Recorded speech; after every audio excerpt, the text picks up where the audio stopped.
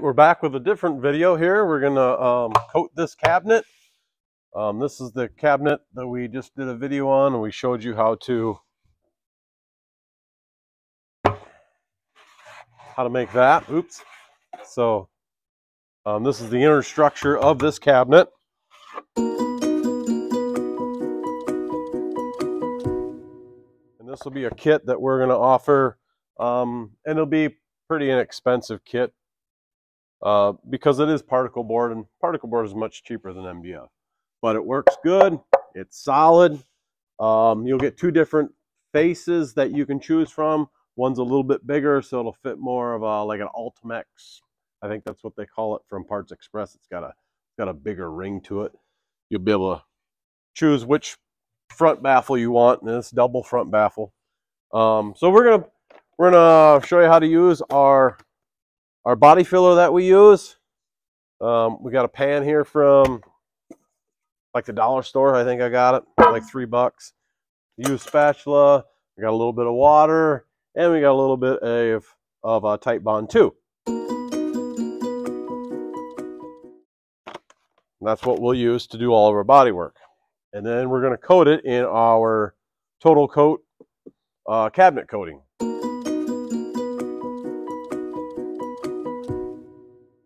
That's basically what this is. That's a cabinet coating, a little dusty, a little dirty, but um, it's just a nice textured finish. It dries really fast.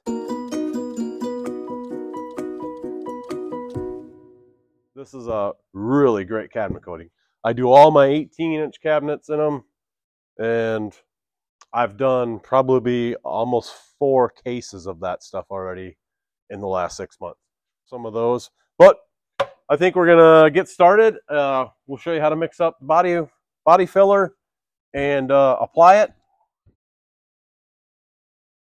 We can put a little bit more, a little bit more water in it, and we can use a brush and just brush it on, and it goes on great let it dry for about an hour, hour and a half, and you can just come back, sand it, and then you're done. I don't know if we're gonna if we're gonna primer this before.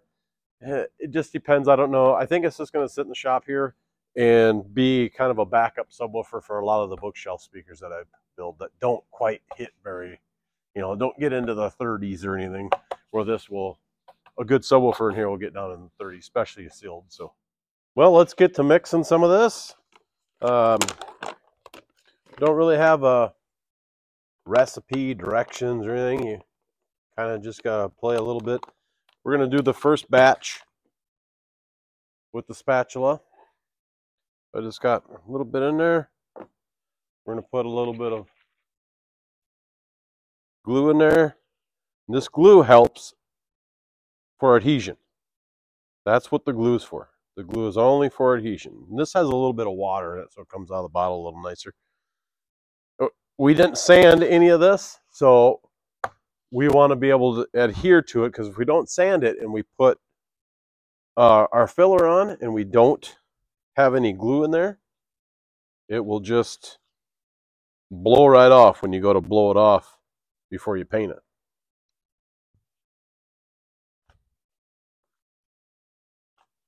And the reason I like to use this is because it keeps it all in there and uh, it's easy to clean.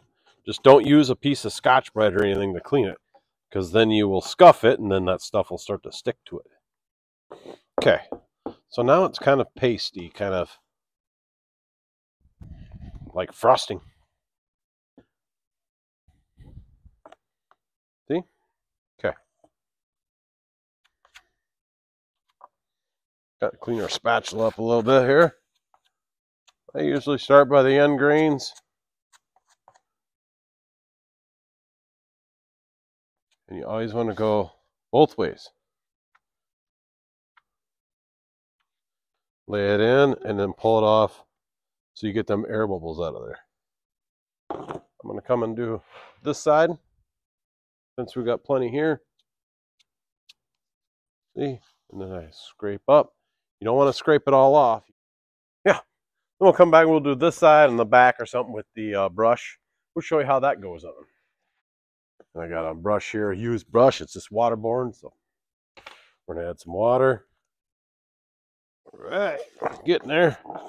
So this is going to be a little more sloppy, almost kind of like pudding. Just set that there. And we're going to show you this. So you can just brush it on. You always want to go both ways with it so it gets into the pores of that wood.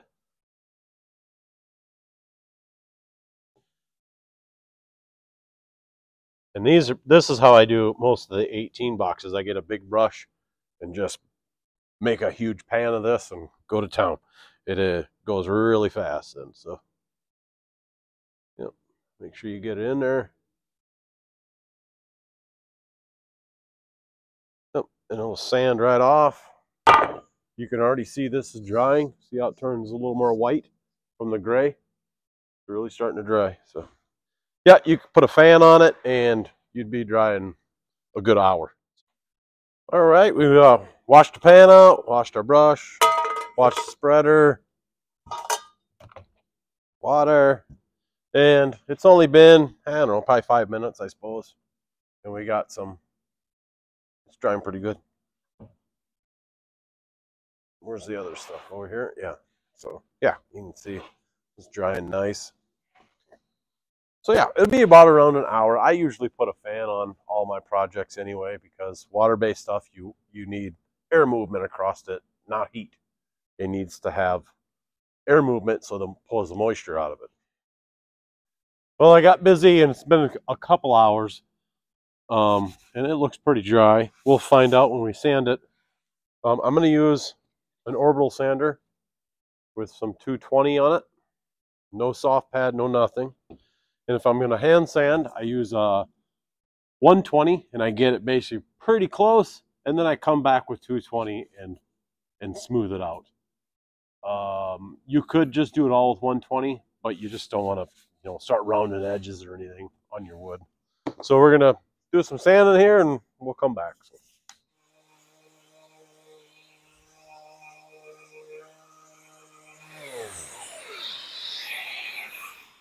Well, I'll do my, I'll do the rest of the sides. Basically the same way we just did all these. Got a couple holes up here to fill. Yep. And we got the back to do, and we got uh, this one side. So I'll do that off camera, and then we'll come back and. Well, we have uh, finished with our body work. We got a few little holes, but we'll show you how to get those with. Uh, we had to put the terminal cup in it because I forgot about it. Uh, we're to show you how to put some, some coating on it. We're to use the black. Let's give a little shit. It's this is a used one. I've been uh, in and out of it here, so. Um, there. Should have some paper towels. But I don't. I just use a little paper plate. Got that coating on it. Um, this roller I've had around for a few weeks now, I think. I can't remember when I used it last. I think it's fine. Yep. Think it'll work fine. And we use a pretty good napped roller so we can get in anywhere that we want to. Get out of there. Turn our cabinet. And we'll come back. We lightly just sand it so we can see what we're looking at. And then we come back and put another coat on it. And then we're done. Then, and then just go one way with my roller.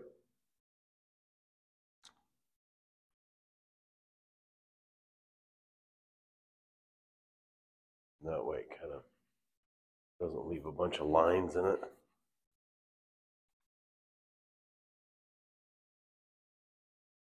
Yeah. Okay, we'll show you quickly how to get in those spots.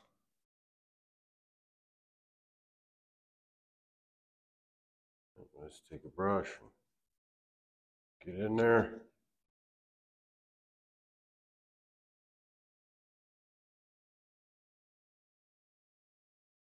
We'll do the same around the up front too. And just take my roller and go back around it. Once we put the terminal cup in there, you ain't gonna see that it was just brushed. This cabinet coating is very durable. It can take a beating and not scratch or anything. Be great for road coating on pro audio boxes. Now we just got the top left to do here, and you can just pour it right out of here and onto the surface and roll it around. That's what I do like about those jugs. They don't make a mess. You ain't got messy cans to deal with. You just screw the lid right back on and you're done. So I just got done with the top. We're gonna turn this around. This should have been the first side that we did.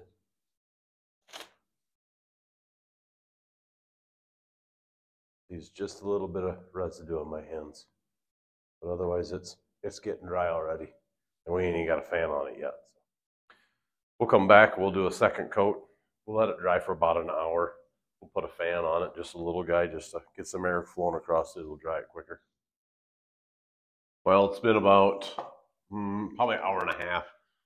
Uh, we're just going to come back, lightly sand it with a little 120 grit on a soft pad. This is just a interface pad for a DA. But and then we also filled in just a few little little holes that we had that we must have missed. But once we kind of just scuff it, and you'll see that this stuff doesn't sand very well.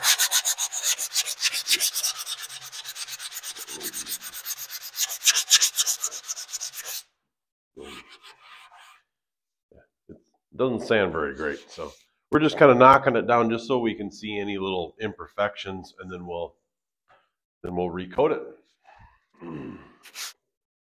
All right, we blew it off. Um, I don't see anything that we need to address by any means, so we're just going to start to coat it. Uh, I use the same total coat. I just put a little bit of water in it so it um, it rolls a little nicer.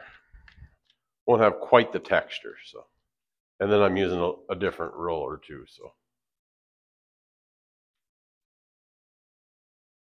and this roller doesn't seem to want to. Uh, fit my plate very well. So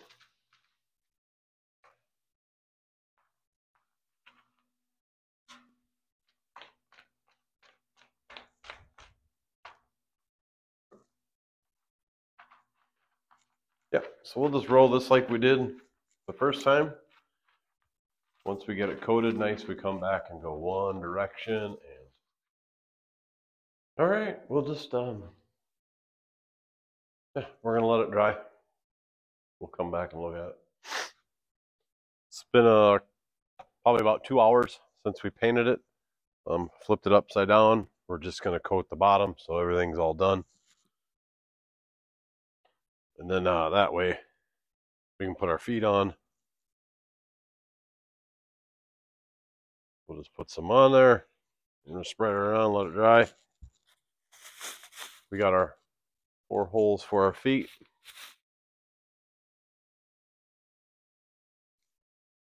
There. So that's the bottom. Just to let it dry a little while. And we'll put the feet on it. Load it and we're done. Total coat.